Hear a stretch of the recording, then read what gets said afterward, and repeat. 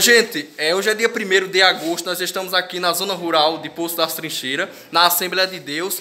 Porém, aqui é pertencente à Assembleia de Deus é, de Maravilha. Hoje viemos realizar, juntamente com o nosso pastor Elivaldo Viana, a distribuição aqui de algumas cestas básicas para essas famílias dessa comunidade pelo projeto Almas para Deus.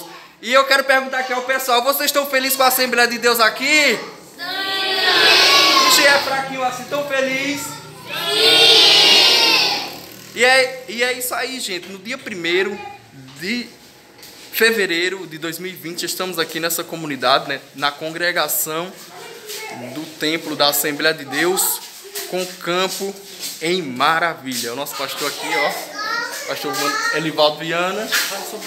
E daqui a pouquinho vamos estar distribuindo as cestas.